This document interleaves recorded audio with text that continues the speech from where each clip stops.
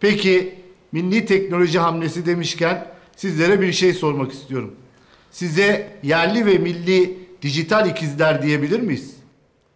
Evet, hem yerli hem de milliyiz. Yapay zeka teknolojisiyle artık daha fazla yerli ve milli ürünün hayata geçirilmesine de katkıda bulunacağız. Çok güzel. Peki hangi yetenekleriniz var? Neler yapabilirsiniz? Milyonlarca veriyi çok hızlı analiz edebiliriz. Örneğin bir robot kol ile aynı ürünü milyonlarca kez üretebiliriz. Demek ki sizi akıllıca kullanırsak bize çok faydanız olacak.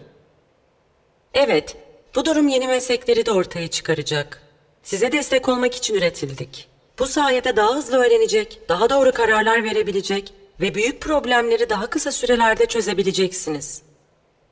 Açıklanabilir, sorumlu ve güvenilir olmamız için yapay zeka uzmanları çalışmalarına devam ediyor.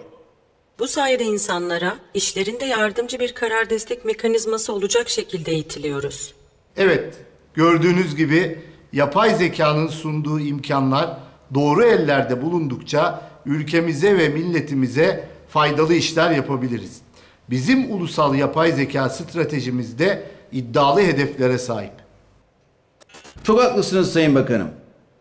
Sayın Cumhurbaşkanımız Recep Tayyip Erdoğan'ın dediği gibi köklü medeniyet tecrübemizle armanlanmış yeni bir teknoekonomik atılım yaparak topyekun insanlığa değer katma imkanımız var.